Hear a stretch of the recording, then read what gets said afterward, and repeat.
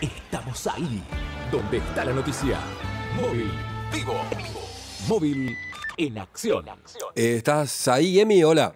Ah, Pablo, Pablo. ¿cómo te va? Estamos en Derqui y circunvalación, una persecución de eh, policías, hay personas heridas, colisionó un vehículo donde venían delincuentes a la altura de Derqui y Colectora, lo que seguramente ahí eh, Marcos está filmando, fue una entradera que de la policía pudo obviamente prevenir eh, comenzó una circunvalación, hubo varios disparos y hay personas heridas. También se han decomisado algunas armas.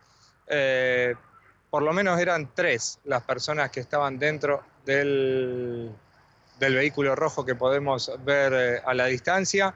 Estas personas que habían querido realizar una entradera, habían querido realizar un asalto en la zona norte de la ciudad y que obviamente fue frustrado producto de esta persecución policial. Podemos notar también que hay una camioneta eh, que colisionó contra uno de los árboles aquí en el lugar. Pablo, ¿me repetís por favor la, la dirección?